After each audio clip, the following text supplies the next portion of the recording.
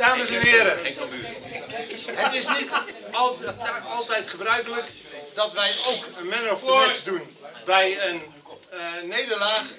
Maar wij vonden het vandaag toch zeer terecht. Ik vind, we vonden toch dat Nunspeet er best wel voor gestreden heeft. En uh, helaas niet gescoord.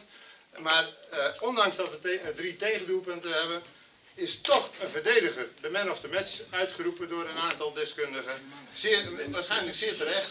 Uh, wij hebben een bos bloemen van eh, uh, Fleurcentrum Blok en een uh, dinerbon van restaurant Joris uit Nunspeet.